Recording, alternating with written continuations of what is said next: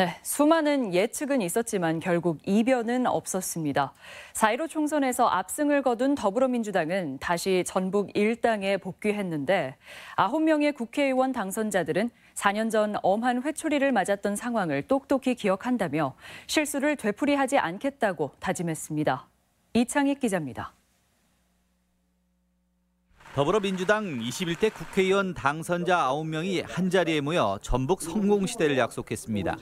산적한 현안들이 많습니다. 여기 계신 우리 모든 당선자분들이 원팀이 돼서 어, 우리 전북 발전을 위해서 노력하겠다는 어, 말씀드리겠습니다.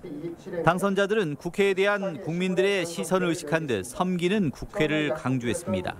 국회가 어, 싸우지 않고 일하는 국회, 또 생산적인 국회로 변모될 수 있도록 또 최대, 최선의 노력을 다해야겠다. 이렇게.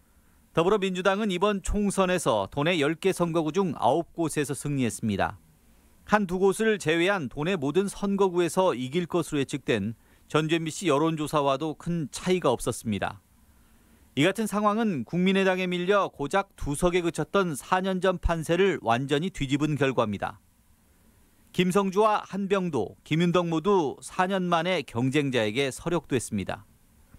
유일하게 내준 남원임 실 순창 이용호 당선자 역시 민주당의 복당을 희망하고 있어 사실상 석권이나 다름없습니다. 하지만 비례 포함 전국 180석이란 역대급 선적은 무엇보다 문재인 대통령에 대한 국민의 신뢰에서 비롯된 결과입니다. 28석 가운데 27석을 휩쓴 호남의 경우 민주당 당선율이 96%가 넘어 누가 나서도 낙선이 더 힘든 상황이었습니다. 4년 전 도민들의 심판이 되풀이되지 않기 위한 유일한 방법은 9명의 당선자들이 자신들이 내건 약속을 지키는 것뿐입니다.